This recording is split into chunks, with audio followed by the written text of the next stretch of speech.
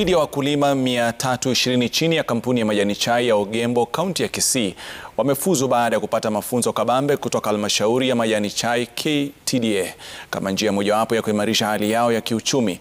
Mwenyekiti wa kitaifa ya KTDA David Ichoho amesema kuwa mchakato huu unanuia kufaidi pakubwa wakulima wa majani chai kwa kuwafunza mbinu za kisasa zinazohitajika kujumuishwa ili kuboresha sio sekta hiyo. Wakulima hao pia walihimizwa kupanda michai inayoweza kustahimili kiangazi.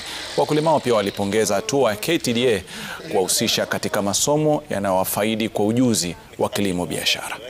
Kwanza ni kuhakikisha kwamba tunatafuta pesa ama tunahakikisha majani chai ya wakulima inapata pesa inayofaa ili waweze kuendelea na maisha yao. Hiyo tumefanya kupitia reserve price ambao tumeweka na tumefanya mabadiliko kule katika mnanda ambao auction yetu na tunaweza ongea hapa within 6 months tumeweza kupata mabadiliko. Uh, tumeonyesha those education. Kuna graduation ambayo ilikuwa kuna vikundi viwili ambao wamekuwa wakisomeshwa nia vile wanaweza endeleza those projects, na tunasema hii ikuwe ni jambo tu ya as a, as a project ambayo itasaidia watu wakulima wengine kujifunza kama wao na waweze kwenda kwa community na tuendeleze pamoja.